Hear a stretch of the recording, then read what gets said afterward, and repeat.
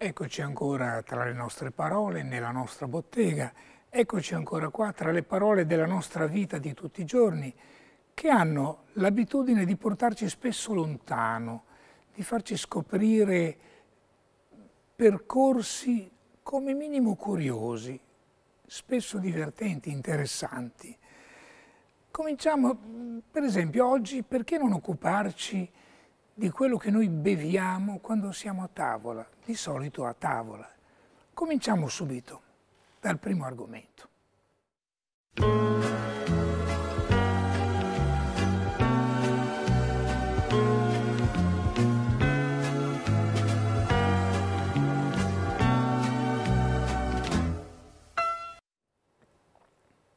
Beh, volendo occuparci di bottiglie, che sono quelle alle quali prima o poi vogliamo arrivare, è anche giusto partire dall'etichetta.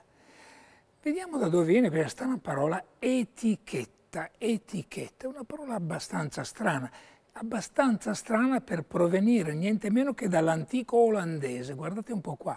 Antico olandese sticken significa fissare con una punta, quindi quando io fisso con una punta eh, un foglio, un foglietto su un muro o su una lavagna, uso quel verbo olandese lì.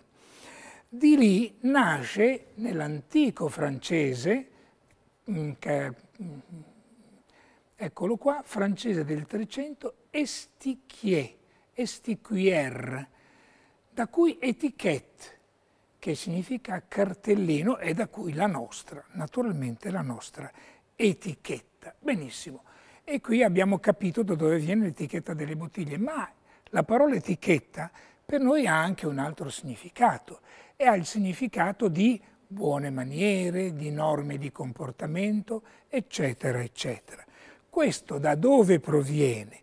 Ci proviene dalla corte spagnola.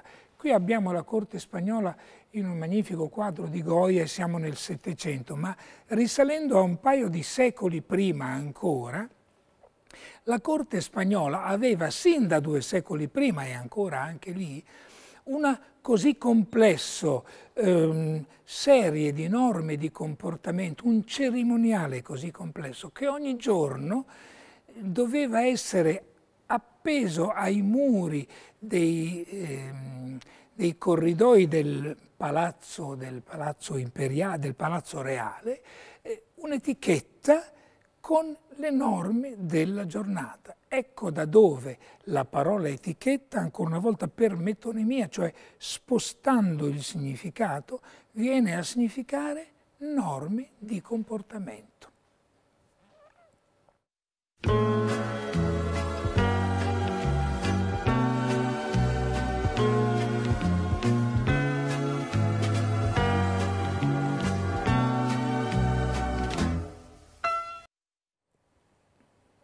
Beh, questo è un argomento piccante, eh, c'è poco da fare. Il sesso dei vini, attenzione, eh, perché non si scherza con questi argomenti. Benissimo. Allora, quando noi vediamo davanti a noi una collezione di vini pregiati, come per esempio questa, che addirittura è chiusa a chiave, tanto sono importanti queste bottiglie, a volte ci capita di domandarci se quel tal vino è di sesso, ha un nome maschile o femminile. Partiamo da un nome che, da un vino che è sicuramente femminile e ci rifacciamo al nostro padre Dante Alighieri. Ecco qua eh, alcuni versi del Purgatorio a, riferiti a Papa Martino IV. E purga per digiuno, cioè digiunando, le anguille di Bolsena e la vernaccia. Quindi non c'è dubbio che la vernaccia è il nome di un vino femminile da Dante in poi. Ma andiamo avanti. Allora ci troviamo di fronte a, per esempio a questi altri nomi, il Marsala o la Marsala, il Freisa o la Freisa. Mica facile rispondere, eh? Io non rispondo, lascio a ciascuno di voi la propria interpretazione perché regole qui fisse non ce ne sono. Partiamo allora da quelli che sono i vini che hanno un po' più di sicurezza dal punto di vista del sesso. Diciamo che c'è un certo numero di vini che sono sempre comunque maschili. Ecco, di qua il Chianti, il Riesling, il Barolo, il Pinot, avanti ancora, prossimo cartello, prossimo il Nero di Tufo, l'Ortrugo, il Gutturnio, il Sangiovese. E qui siamo tranquillamente sul maschile. Vediamo questi altri due. Prossimo cartello, Barbera e Bonarda, maschile o femminile? Ma io ho sempre detto quando ero piccolo il Barbera, poi mi sono reso conto, sono reso conto che non è sempre così. Allora cerchiamo aiuto nei grandi autori. Per esempio, prossimo cartello, Carducci parla di generosa Barbera, De Marchi dice il Barbera, Gaber parla di Barbera e Champagne ma si guarda bene dallo sbilanciarsi dal punto di vista del sesso. Sta di fatto che presso gli intenditori sia Barbera che Bonarda sono molto spesso usati al femminile. Andiamo a un altro vino per concludere un po' il panorama. L'Albana, l'Albana è l'Albana maschio o l'Albana femmina? Marino Moretti parla di Albana vero. Riccardo Bacchelli, suo conterraneo e conterraneo dell'Albana, cioè emiliano, parla di bianca albana. Allora a questo punto voi vedete che è impossibile da, che noi ci permettiamo il lusso di attribuire un sesso fisso a questi vini. Chiamiamoli come meglio ci suona, fermo restando che molto probabilmente, qui andiamo con grande cautela, terremo per femminili la vernaccia, la barbera e la bonarda. Per il resto, libertà di scelta.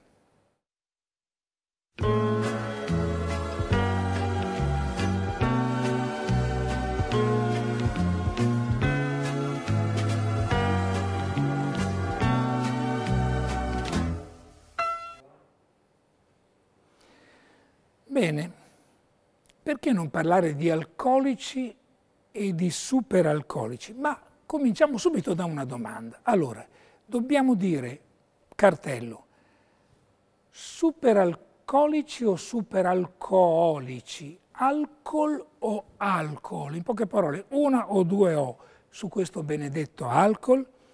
Allora, storia della parola. Partiamo dal termine arabo al-kul, che significava quella polvere finissima per ciglia e sopracciglia che veniva dato, mm, che si davano le donne che nel latino medievale, eccola qui, la signora mi ha eh, rubato un pochettino, ecco, nel latino medievale diventa alcol. Vediamo ancora gli occhi bellissimi di questa signora perché ne vale la pena. Benissimo.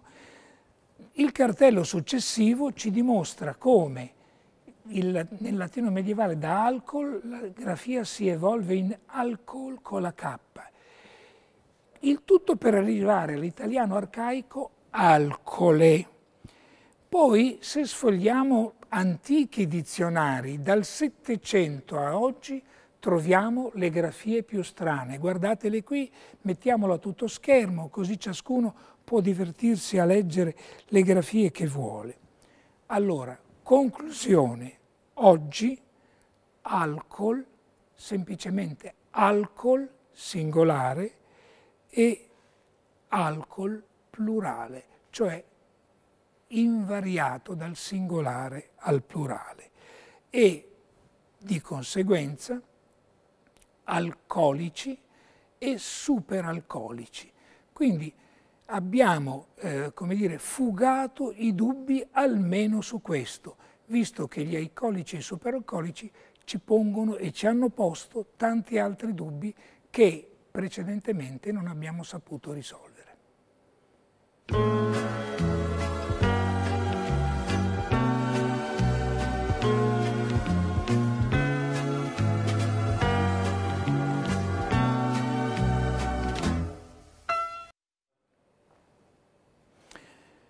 Una cosa curiosa è il termine acquavite, che noi di solito associamo alla grappa.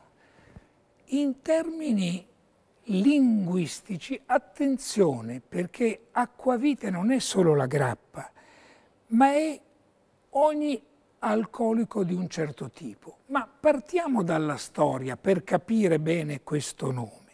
Allora, cominciamo dagli alchimisti medievali.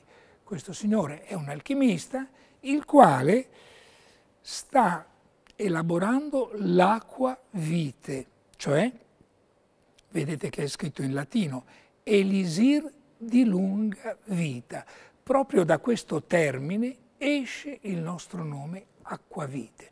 Quindi è molto primo del, diciamo, della creazione della grappa. Quindi questo termine acquavite si riferisce a, vediamolo scritto nel prossimo cartello, eh, ogni bevanda fortemente alcolica ottenuta per distillazione di liquidi zuccherini fermentati. Quindi ognuna di queste bevande è, in termini precisi e tecnici, un'acquavite. Facciamone un elenco, vediamole un po', una per una. Allora, cominciamo dal primo cartello, dal primo dei prossimi cartelli, dal vino, per distillazione, per quella cosa di cui abbiamo detto prima, nascono il cognac e il brandy. Cognac, mi raccomando, con l'accento sulla A, perché è il nome della città francese dalla quale è nato il cognac e che ne conserva gelosamente il diritto d'autore. Eh, cognac o il brandy. Brandy invece è un nome che proviene dal, mm, dall'antico olandese, ma questo direi che è meno importante. Passiamo ad un altro, eh, ad un'altra acquavite e finalmente vediamo il prossimo cartello. Dalle vinacce nasce la grappa e la grappa a sua volta trae il suo nome dal dialettale grappa che viene da graspo, che è proprio quella parte del, eh, del grappolo d'uva che rimane dopo che sono stati tolti tutti gli acini. Quella è la grappa, quello è il graspo, cioè da cui grappa. Andiamo ancora avanti. Dalle prugne, velocemente, lo slivovitz, perché sliva è par- la parola che significa prugna nella lingua serbo-croata. Ancora avanti, dall'orzo e dal malto nasce il whisky e questo è un termine di origine gaelica, quindi di una lingua che precede l'inglese.